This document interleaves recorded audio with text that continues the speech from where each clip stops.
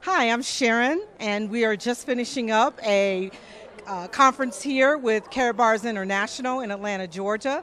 And i w- I'm a VIP affiliate, and I would like to introduce you to Gary Crane, who's going to test out the Karatbars Gold. One of the things we always get asked is are the Karatbars actually real?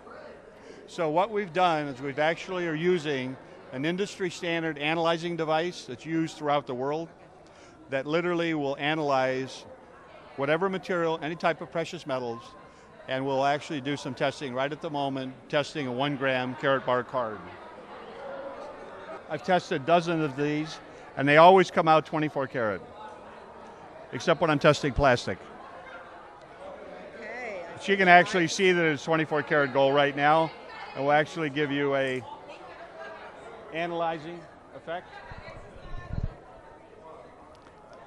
I, w- I wound up testing some plastic, but it still came out at 23.97 carat, I believe.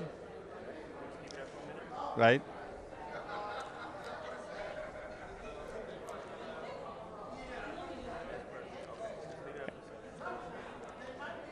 And what I'm going to do is I'll test another one just for verification that they're all the same. They are 24 karat gold.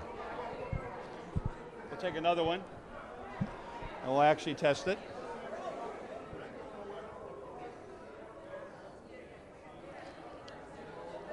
And as you can see now, it actually turned out exactly 24 karat gold.